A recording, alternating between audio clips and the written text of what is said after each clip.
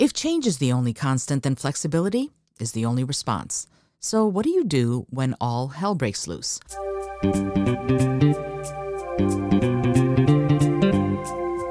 Hello, and welcome to the Innovative Mindset Podcast. I'm your host, Izolda Trachtenberg. On the show, I interview peak performing innovators in the creative, social impact, and earth conservation spaces who are working to change the world. This episode is brought to you by Brain FM, which combines the best of music and neuroscience to help you relax, focus, meditate, and even sleep. And if you're liking the show, I would love it if you'd buy me a coffee at buymeacoffee.com slash Izolda T. See the show notes for details. And now, let's get on with the show.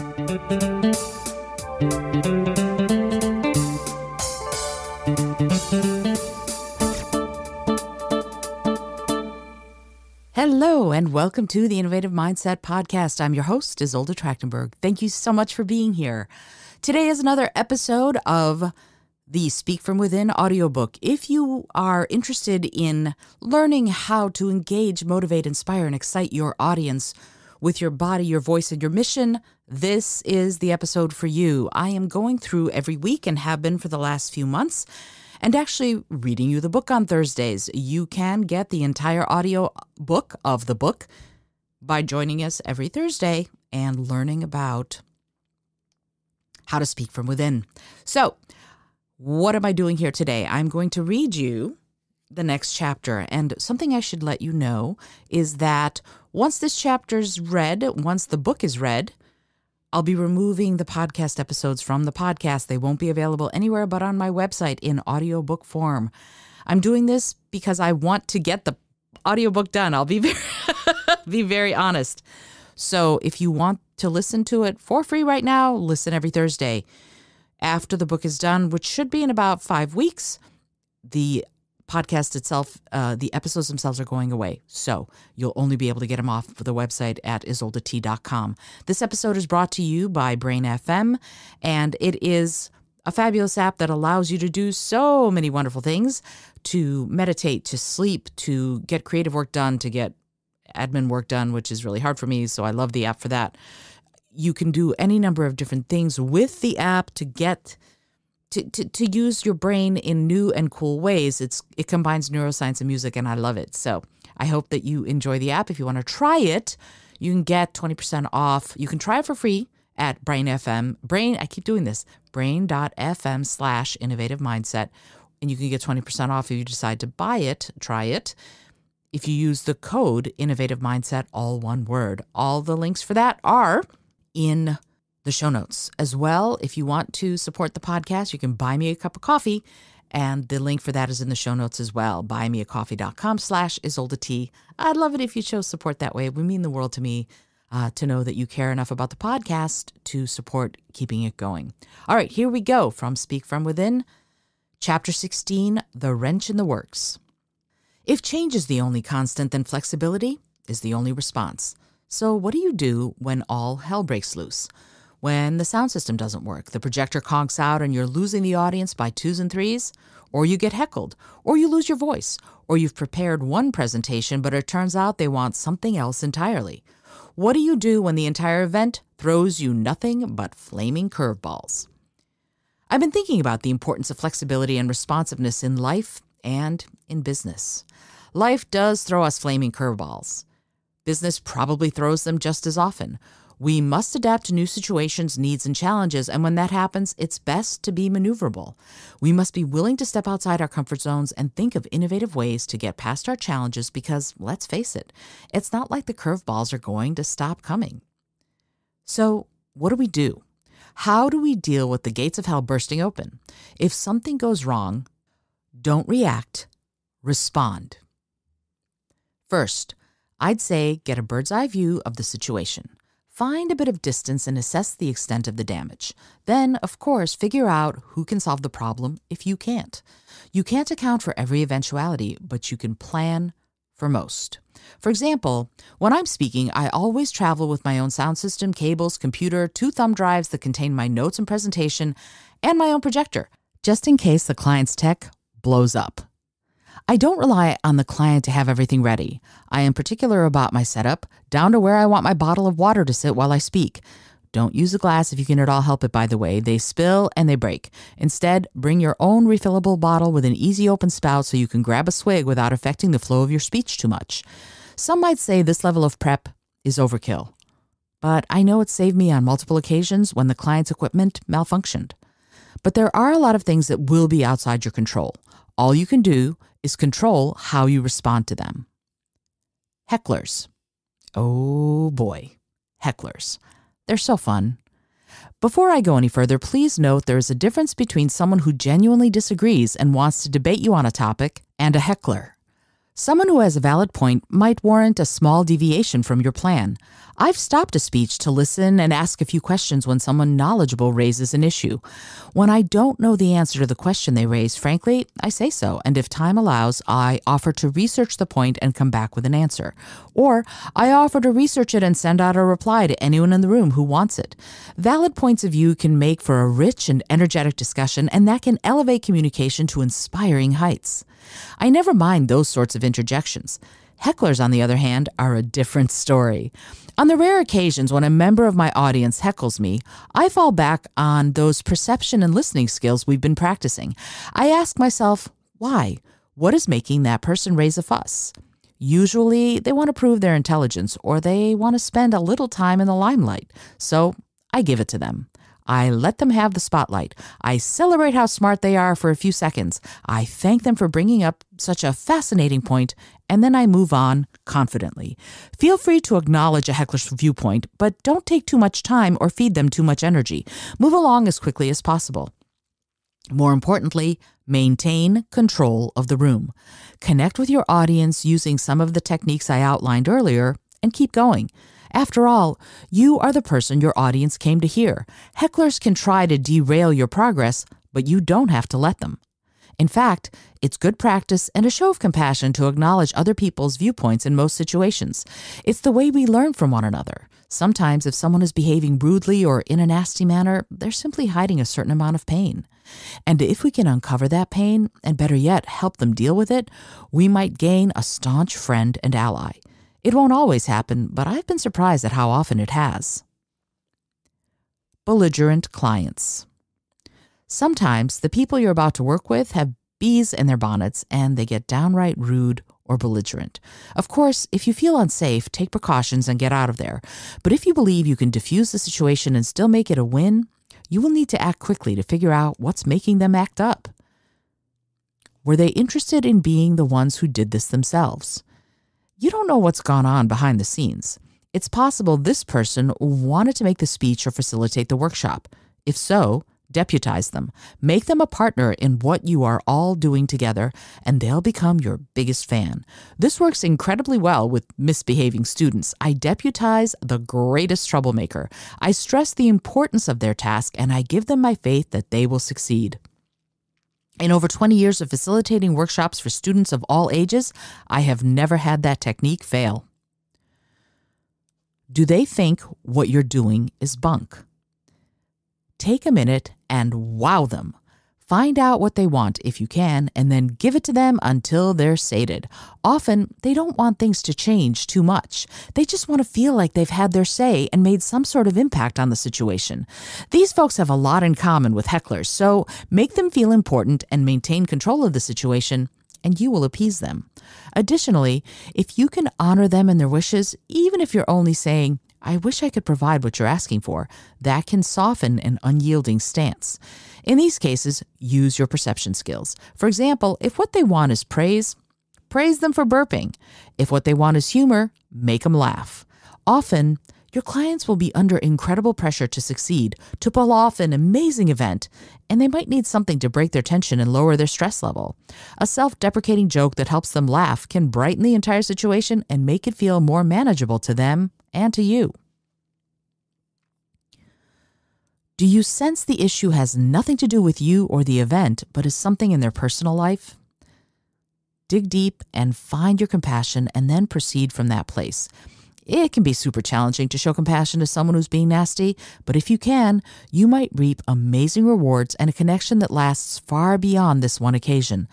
I also recommend that you work with them to deal with the issue they raised with you.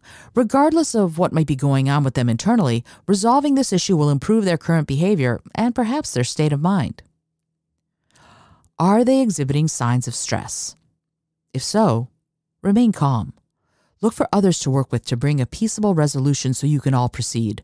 Remember, you're a pro. You don't have to put up with people who are being nasty. Having said that, you can also work with them to bring the threat level back down so you can all succeed. Only you can decide for yourself if it is worth it to you to remain and work on it. Is just one person throwing a wrench into the works? You will find that there are hierarchies in every group of people. There will be the main leader, and hopefully that person is on your side. There will also be factions. You will need to become adept at identifying those factions and figuring out who's the person everyone looks to for their information, ideas, and the lead on how to proceed. If you get that person on your side, or at least ready to collaborate with you, you will resolve the issues together and make everything fly. So, whether it's hecklers, cranks, or a fuzzed out sound system, plan for everything to go wrong and prepare for it. Carry extras of everything you will need. Over rehearse what you will say until about three days beforehand, then stop and trust yourself to know it. The night before, look it over one last time right before you go to sleep. Where I come from, we do that and then we put the item under our pillow.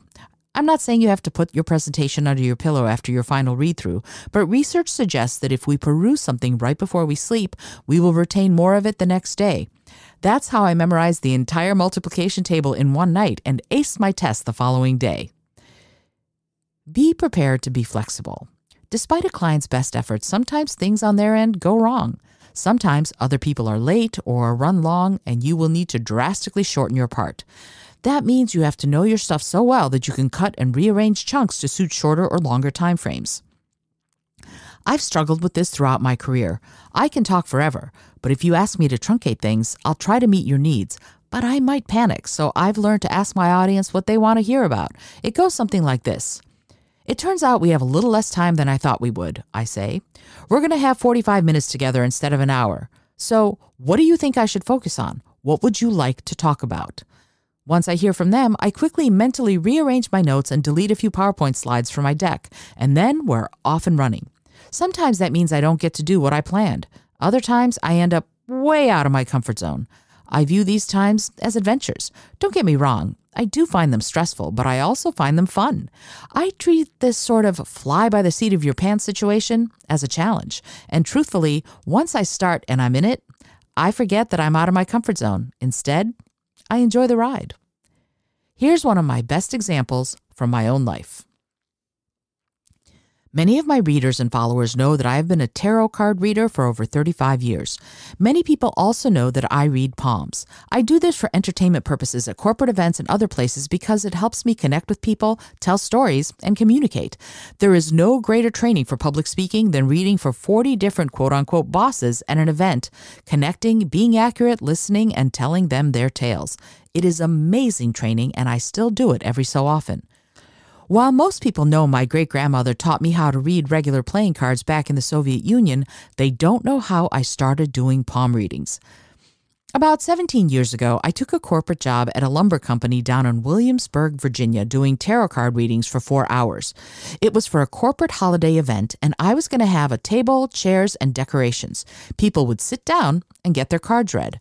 I drove the three hours down from Washington, D.C., and showed up to the lumber yard. The DJ at the event also happened to be the booking agent who had contacted my agent to get me to come down and do these readings. When I met her, I asked her where I was going to sit. Sit? She asked. We don't want you to sit. We want you to do walk around. For those who don't know, walk around is when you go up to the people around the venue and you entertain them with whatever skill they hired you to showcase. I'm not sure I'm going to be able to do tarot card readings while doing walk around, I said. Generally, I need to be able to lay the cards out. I don't want you to do tarot card readings. I want you to do palm readings, she answered. What? I have a contract right here. I produced it. It doesn't say anything about palm readings, I said. I'm afraid there's been some mistake. I can't do palm readings tonight because I don't read palms. Well, you have to do something. The client wants palm readings. I'm sorry, I said. Literally, I don't know how to do them. I excused myself, exited the building, and called my agent. We have a problem. They want me to do palm readings. Why is that a problem? she asked. Because I don't know how to do them. Well, can you do anything? I don't know. I'll try, I said. This was long enough ago that I had a Handspring Treo. On it, I had a rudimentary palm reading app. I had been meaning to learn how to read palms, but I hadn't gotten around to it. So I went into the ladies' room and spent about 10 minutes learning the names of the various lines and mounds of the palm. I figured out which one was the lifeline, which one was the heart line, and which one was the headline. I figured out that the Jupiter mound had something to do with leadership and dynamic qualities. I figured out the Mars mound was about ethics and morals.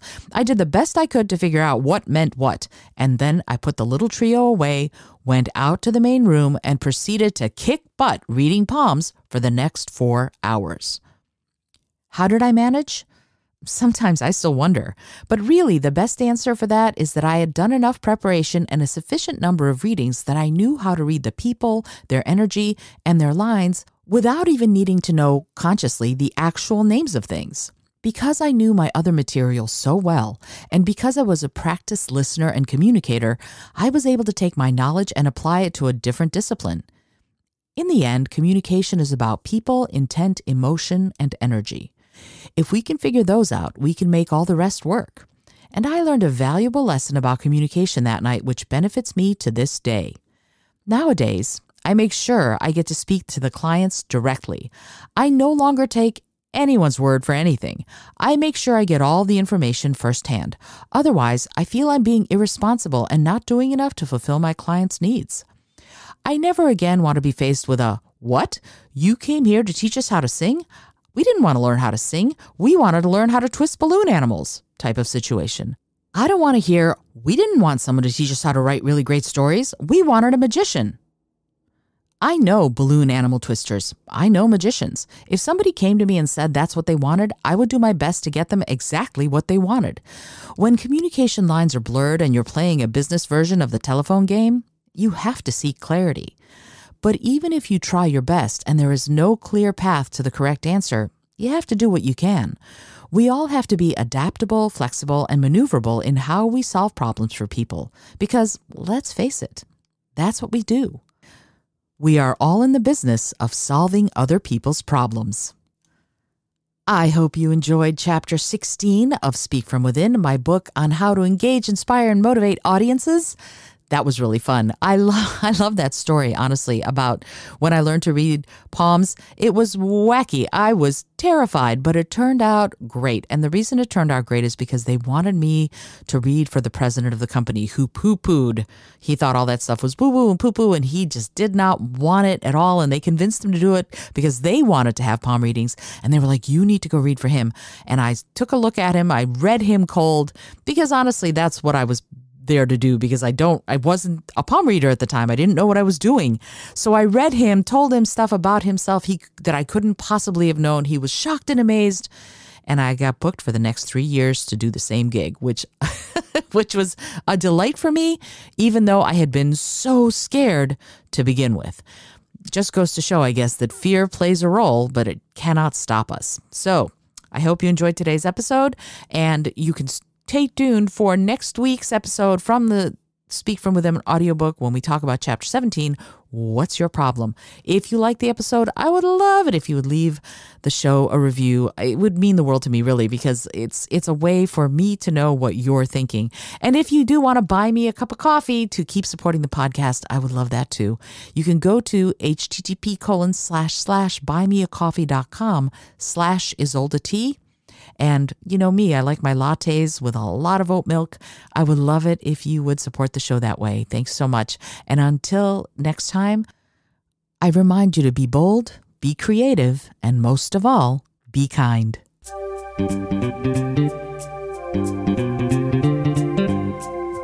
Thank you so much for joining me today. I really appreciate you being here.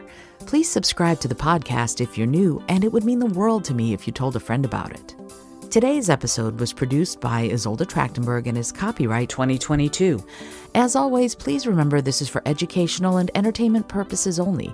Past performance does not guarantee future results, although we can always hope. Until next time, remember to be bold, be creative, and most of all, be kind.